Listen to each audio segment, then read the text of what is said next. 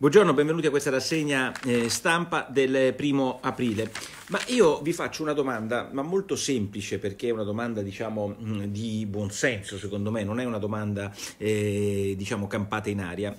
Se voi che mi ascoltate, e vi ringrazio perché siete sempre più numerosi e anzi vi ricordo adesso su Facebook di mettere mi piace sulla pagina di Facebook e coloro che vogliono mettere mi piace sulla mia pagina di eh, Instagram e il contrario, cioè incrociamoci in maniera tale che poi le due community siano il più integrate possibile. Però io vi chiedo, in questo momento ci sono 18 milioni di italiani, 9,8 milioni di lavoratori dipendenti che per la gran parte saranno in cassa integrazione, ci sono 5 milioni di autonomi e ci sono 2 milioni e mezzo tra precari, colf, ehm, 3 milioni di eh, partite IVA e professionisti, quindi stiamo parlando di 18 milioni di persone che sono lì in attesa del risultato del famoso decreto di marzo, il cosiddetto Cura Italia.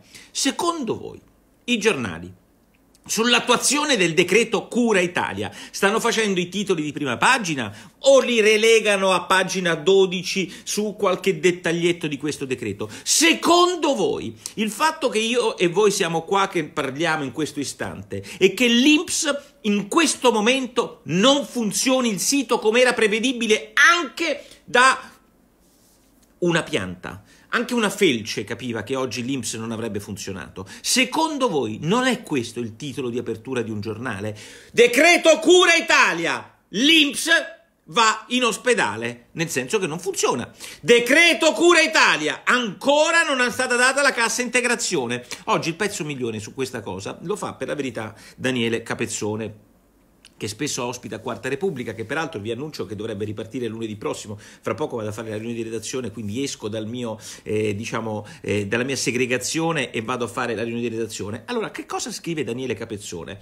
Si attendono gli effetti del decreto di marzo da 23 miliardi neanche un euro è ancora arrivato agli italiani, ma si parla dei mirabolanti eh, miliardi che arriveranno di, da quello di aprile. E questo è l'Italia, è l'Italia dell'annuncio, è l'Italia del eh, considerato che eh, con il combinato disposto il rapporto 1 a 1 o 1 barra n, giuro che la circolare che oggi è arrivata riguardo al passeggio con i figli, tra, il rapporto tra adulti e figli è 1-1n, 1-1, cioè una roba incomprensibile. Nel frattempo oggi abbiamo il sito dell'Inps bloccato, e lo capiva anche una felce, e abbiamo Capezzone che giustamente ci racconta del fatto che noi stiamo parlando di questo miracolo. Arrivano 50 miliardi, arrivano a 30 miliardi, diamo 800 euro, diamo 600 euro, non arriva nulla. Noi zitti e muti e parliamo delle grandi cose di cui tra poco parleremo. Valentina Conte su Repubblica in realtà fa un pezzo che vi segnalo perché è un pezzo che uno dovrebbe prendere questo articolo e dovrebbe andare sotto il muso del Presidente del Consiglio e devi dire uno che si comporta così lo licenzi subito, immediato, immediato per giusta causa. Il Presidente dell'Inps si era distinto nelle settimane scorse dicendo che i 3 miliardi dei 600 euro venivano dati ai 5 milioni di italiani, cioè 3 miliardi per 5 milioni di, di italiani per 600 euro. Vabbè, vediamo se riusciremo a far quadrare i conti. Beh, questi 3 miliardi sarebbero stati dati con il click day, cioè siccome i soldi non erano sufficienti per tutti, chi prima c'era un giorno in cui si cliccava e si portavano i soldi nel giorno in cui si cliccava. Pensate un po' voi col sito in bomba quanto facevi il click day. Toc toc! Tridico! Magari scendi dalla pianta e cerca di capire come funzionano i tuoi uffici prima di fare le interviste. In realtà, ieri all'Inps, quei pochi che si sono collegati con l'Inps, sempre Valentina Conte, sentite un po' bene cosa diceva l'Inps ieri, che sarebbero stati assegnati i, le risorse dei 600 euro in ordine cronologico. Chi prima arriva, prima si porta a casa i soldi, che non mi sembra una straordinaria, diciamo, vi racconto questo dettaglio. A Hong Kong, no Hong Kong, in Cina, ci sono delle fabbriche che fanno mascherine, poi ne parleremo vedremo. Sapete come funziona? Esce il proprietario della fabbrica, ci sono fuori 10 persone e e con i soldi in mano lui assegna prima, il primo che arriva e quello che paga meglio le mascherine, quello che sta avvenendo oggi per la cessione delle mascherine in Cina. E noi vogliamo fare la stessa cosa un po' con l'Inps, cioè prima, chi prima arrivava, prima si prendeva il sussidio di 600 euro, secondo un criterio di giustizia fantastico, soprattutto di questi belli comunistoidi che ci parlano di giustizia sociale. Quindi chi arriva prima c'è la connessione migliore, che c'è il computer, c'è il PC, è una roba pazzesca nella sua ingiustizia. Però il punto è che ieri l'Inps nel suo sito, lo, lo leggo su Valentina Conte oggi su Repubblica diceva che l'ordine era cronologico nell'attribuire i 600 euro, se non che poi Tridico, chissà se è vero, ci dice che questo non è vero, che ci saranno altri criteri che ovviamente non è dato sapere. Tutto questo oggi lo trovate su Repubblica. Eh, 18 milioni sono la platea di coloro che dovranno avere aiuti, secondo quello che dice il Sole 24 ore di oggi, ve li ripeto, 9,8 milioni avranno la nuova cassa integrazione di emergenza, ma anche la cassa integrazione è stata fatta con i piedi e non dico le parolacce perché oggi sono di buon umore, è stata fatta con i piedi perché ci vuole il preventivo accordo con i sindacati, ma dove sta scritto? Ci abbiamo le nostre libertà violate, ma non possiamo violare la libertà della concertazione sindacale. Mandatevene a quel paese! E c'è un sindacalista della UGL, mi piace citarlo, che mi ha detto, mi ha scritto una mail, è stato molto carino, mi ha detto guarda Nicola, che non sono tutti così sindacati, a noi di questa roba non ce ne frega niente, più o meno mi ha scritto così, adesso semplifico. L'UGL dice una cosa, ovviamente Landini può mai accettare che non ci sia la trattativa con la CGL prima di dare la cassa integrazione con i padroni cattivi che devono passare da noi? No, ovviamente no. Perciò intanto devi contrattare con i sindacati, deve essere fatta preventivamente l'accordo e i soldi non te li anticipa l'Inps, dovevi anticiparli tu. Oggi leggo sui giornali che sarebbe stato fatto un accordo con l'ABI perché si riesce a far sì che le banche anticipino quello che devono darti, deve darti lo Stato. Però io vi invito a pensare un'altra cosa, perché oggi non possiamo pensare che le banche in Italia, che a voi saranno pure antipatiche, facciano il, come possiamo dire, il prestatore di ultima istanza. E sulla CIG non funziona. E allora ci pensano le banche. E i mutui non, non riesce a pagarli. E allora ci pensano le banche. E, e, non hai i soldi e allora ci pensano le banche. Cioè ragazzi, le banche poi saltano, le banche non creano i soldi, le banche non sono queste specie di, no, di, di, di cattivoni che ci hanno raccontato fino ad ora. Lo sono, si comportano anche come si sono comportate nel passato, ma se noi facciamo fare tutte le banche allora aboliamo lo Stato, facciamo una bella e chiederanno anche qualche cosa in cambio, immagino per tutto questo. Vabbè, questo per quanto riguarda l'economia che non è finita perché oggi Boccia scrive una lettera al giornale e si legge anche molto chiaramente sul eh, Sole 24 Ore. Il PIL già per questo primo mese di blocco vale meno 6%. Meno 6%. Chiaro? Meno 6%. E nel frattempo Gualtieri fa un'intervista a chi? Al, alla, ovviamente al giornale che non gli farà mai una domanda perché così si comporta il fatto col governo e dice tra pochi giorni il decreto per garantire la massima liquidità alle imprese, ma io dico, ma invece di pensare dei decreti tra poco, ma perché non riusciamo a mettere a posto i decreti che abbiamo fatto fino ad ora che fanno orrore, che sono scritti con i piedi e nessuno riesce a... cioè noi continuiamo a fare un decreto come l'altro col problema che l'economia sta morendo. Ma vabbè, intervista a Bonometti, presidente della, della, dell'associazione delle Confindustrie Lombarde, una persona molto seria con una bella azienda, che dice una cosa molto semplice, guardate che a noi imprese abbiamo bisogno di avere prestiti e liquidità, che sì, ce le possono dare le banche, ma ci vuole, le banche ce le daranno solo se su quei prestiti c'è una garanzia dello Stato. Mi spiego meglio. Piccola impresa ha bisogno di un prestito, ovviamente si, si, si, si, spera a tasso zero. Questo prestito deve essere, garant- deve essere, dato dalla banca, ma siccome la banca non può far beneficenza, chi è che garantisce la banca? L'ipoteca sulla fabbrica, l'ipoteca sulla casa di questo signore, come avveniva nel passato, o lo Stato garantisce alla banca che quei soldi verranno ridati indietro? Ecco, se c'è questo meccanismo di garanzia statale, che è rischioso ovviamente per lo Stato, fa sì che il rischio passi dalla banca allo Stato e che le aziende riprendano liquidità. Nel frattempo il tempo oggi, a proposito di cose ragio- sul quale nessuno ragiona, perché eh, ehm, cioè, i bottegai vengono considerati no, non ci piacciono. In realtà i bottegai sono quelli che tengono in vita una città, un centro storico, quelli che aprono le, le serrande, quelli che puliscono il marciapiede, quelli che tengono una luce accesa, quelli che danno sicurezza a un territorio, ma noi li trattiamo come se fossero i bottegai evasori fiscali, no?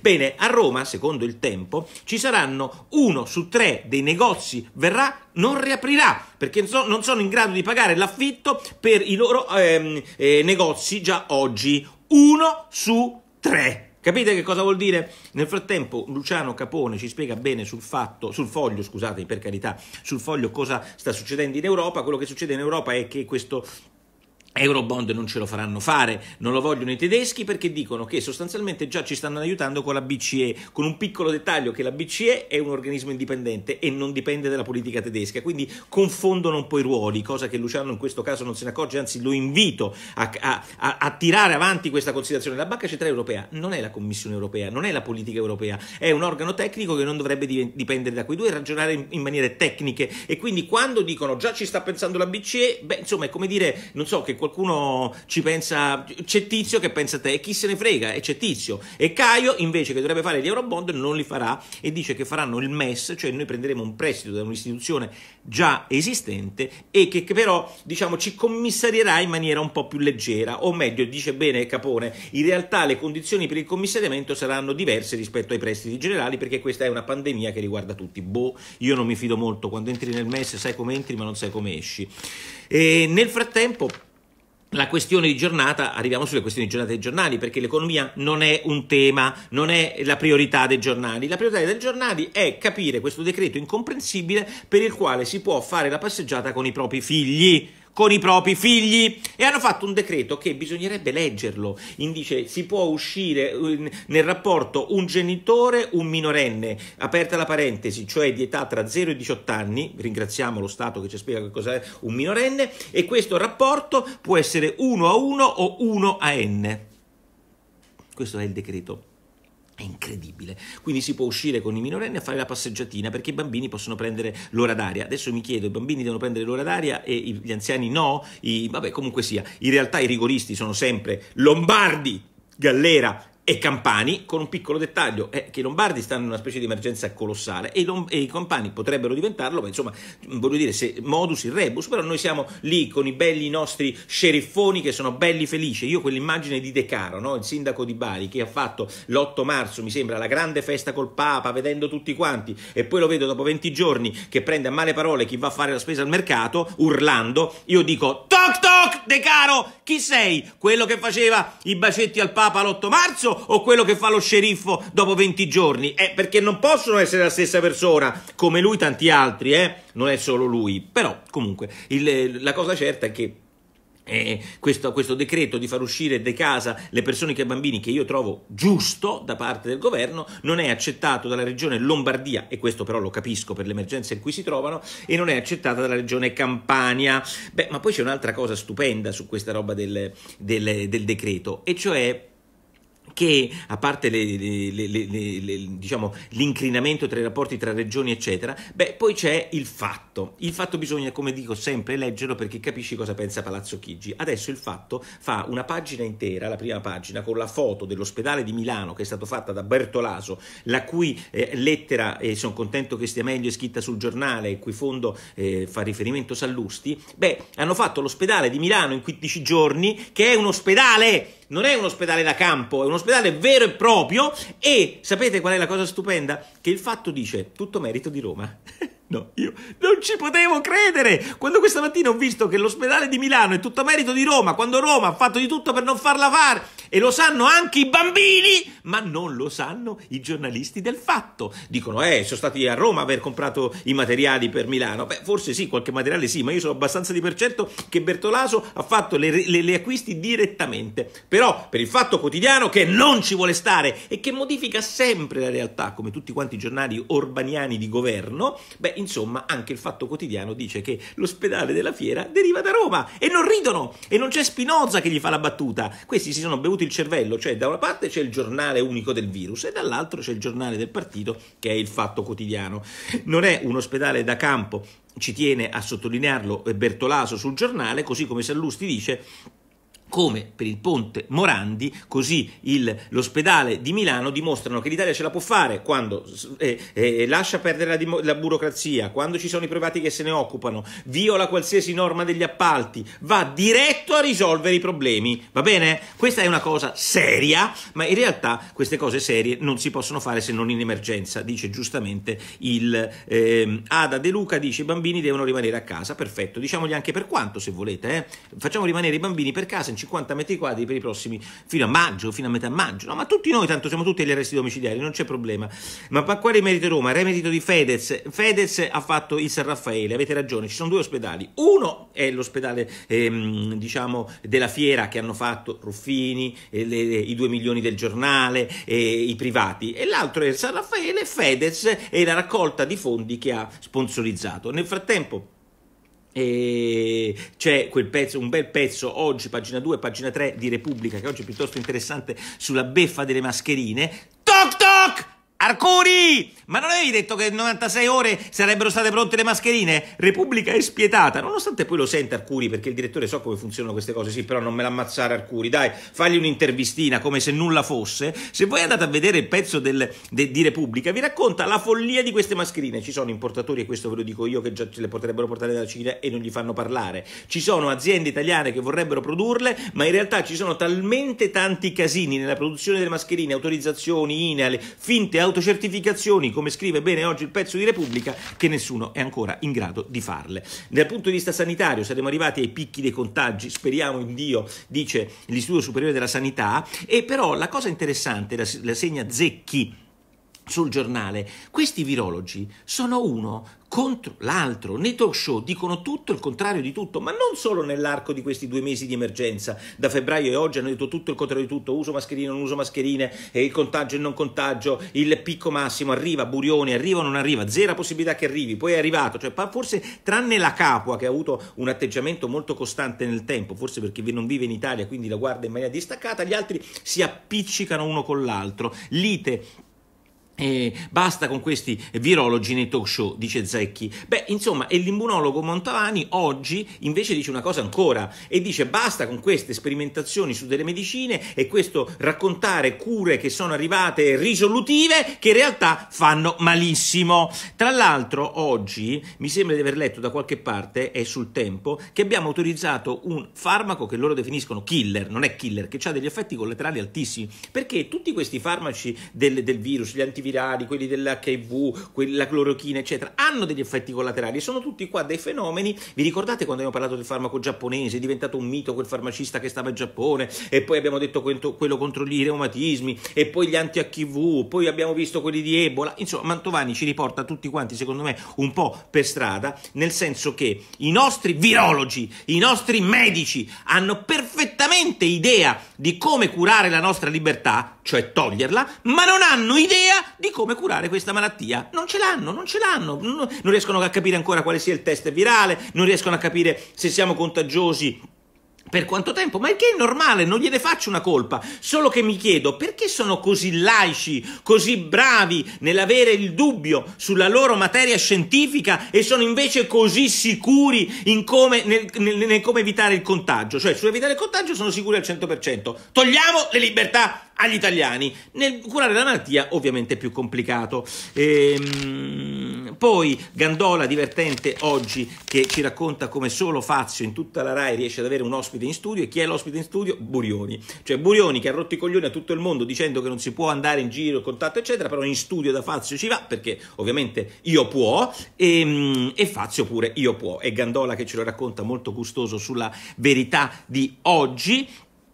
E l'altra cosa che però io vi devo dire, anche se so che molti di voi non la penseranno come me, ma questa cosa di denunciare eh, Conte, perché lo leggo come apertura oggi eh, del, de, de, della verità, denunciamo Conte per disastro ambientale, per disastro, io trovo che sia ridicola un politico, anche se non è stato eletto, ma che ha una rappresentanza parlamentare e che lo ha votato ed è diventato presidente del Consiglio, si caccia a calci nel sedere con maggioranze parlamentari. L'idea che noi ci si debba rivolgere a un magistrato per denunciare Conte mi fa orrore. Sapete voi quanto mi stiano simpatici Conte e Casalino? Ma questi due sono da mandar via bene quando e come faremo delle elezioni o cambiando le maggioranze parlamentari. L'idea che adesso il giornale che ha difeso Salvini e giustamente lo ha difeso contro l'attacco della magistratura per sequestro di persona faccia l'occhiolino agli avvocati che denunciano Conte è l'Italia che non mi piace. Conte deve...